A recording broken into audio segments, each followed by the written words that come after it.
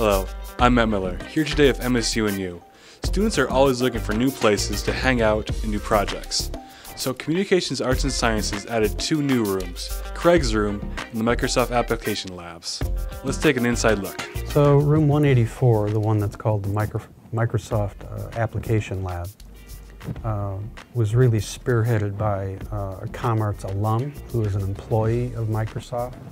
He wanted to do something special for the college and Microsoft has this program of building application labs at different universities. The room next door room 182, the college did. And what we were trying to create is what we now call uh, the undergraduate avenue. So it's all about undergraduate student experiences, whether it's advising, whether it's common spaces. There's uh, another one of our alums um, donated some money to create um, uh, a commons space. That's 182. Um, and his name is Craig Murray, and he owns a company out in Hollywood that, that uh, it's an entertainment market. If you go inside the room, there's actually an explanation of who Craig Murray is and the sort of success that he's enjoyed. Mostly it's about uh, students getting together.